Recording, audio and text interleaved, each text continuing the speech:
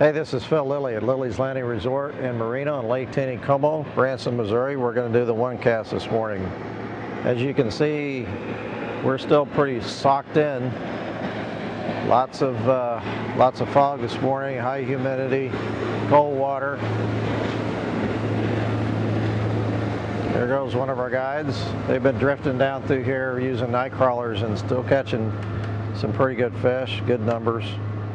Um, had some guys go out this morning, Jeff Weeble and his dad, and they uh, they did pretty good on sculpin jigs with orange heads and uh, pink jigs, working just above here and down below, down at Cooper Creek area. Said they caught five or six browns and quite a few rainbows.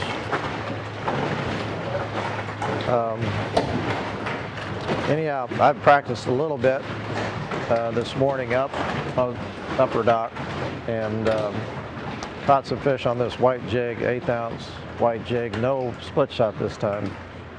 And um, actually didn't catch any. I, I hooked three and didn't get them in, but maybe I've got them dialed in and maybe I can catch one. But this is one cast, so you just never know. We'll see what happens. They are on the bottom, it seems, so I'm going to throw it out and let it sink.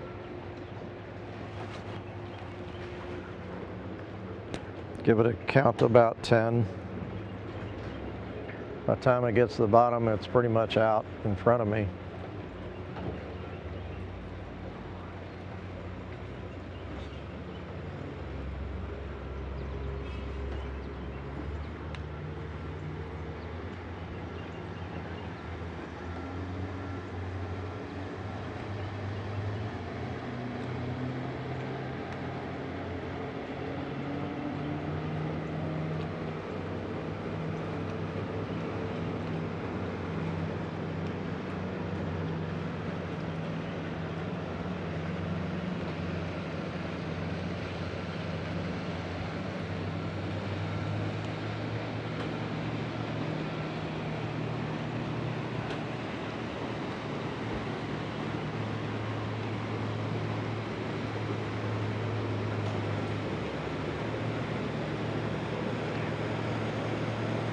But it is not to be on one cast.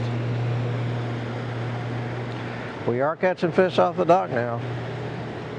So there is hope.